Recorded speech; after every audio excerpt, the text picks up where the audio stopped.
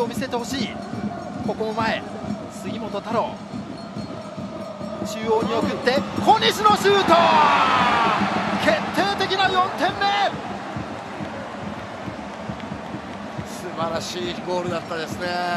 アディショナルタイムで2ゴール。小西のゴールが決まりましたこのシーン。杉本太郎からリフレクションがあって最後左隅らしいゴールが決まりました。